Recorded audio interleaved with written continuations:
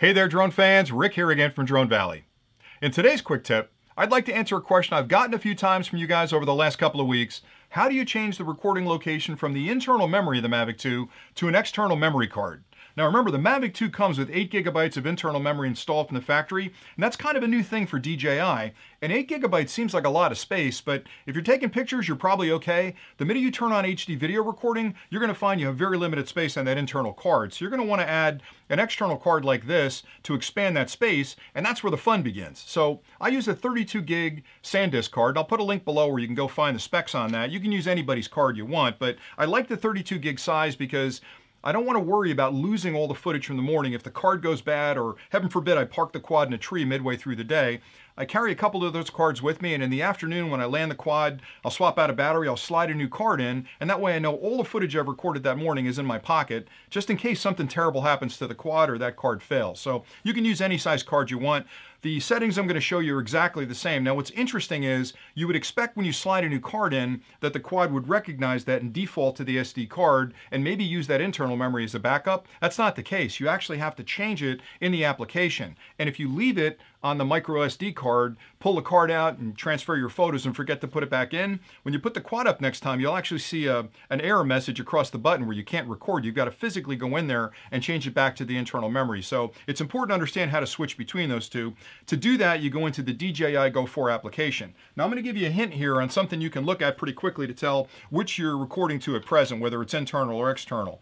On the upper right hand corner, you'll see the word capacity. Just below that will be a number. It'll either be the number of pictures you can still take uh, for available space on the quad, or it'll be the amount of footage you can still take with videos. If that number's small, you know you're recording to the internal card. Typically, if that number's bigger, so it's maybe 20 or 30 minutes worth of recording time and maybe thousands of pictures, you're probably already set for the external micro SD card, but you can verify that by going through these menu settings. So the way you get at this setting is on the right-hand side, you see the red dot that you use for recording or taking pictures.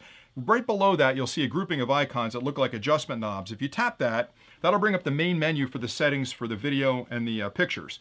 Uh, you've got three icons across the top. The left one allows you to make adjustments to the quality of the footage. The middle one allows you to you know, change the size and all the rest of it. The icon you want to hit is the one on the right. It looks like a little gear up there. So if you tap that, you'll see another menu come up. Now looking closely at that menu, there's no way you can change those internal external settings on there. That's why I said it was a little bit buried. You actually have to put your finger on any one of those settings and scroll up. And when you scroll up at the very bottom is the storage location. So you can see to the right, there's a little arrow there. If you tap that arrow, it'll bring up your choices. You can either use the SD card, which is the external SD card, or you can use the internal memory.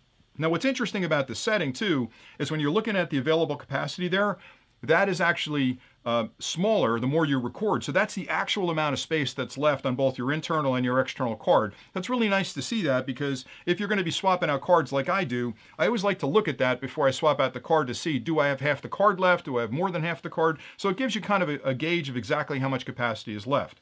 So you can decide which of those two cards you want.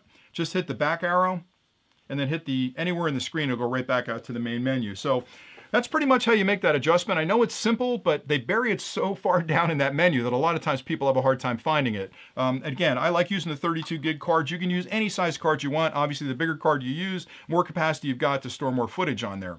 That's pretty much it for today. So hopefully this answered the question. If you have any questions at all about what I've covered, drop them in the comments below and I'll get back to you.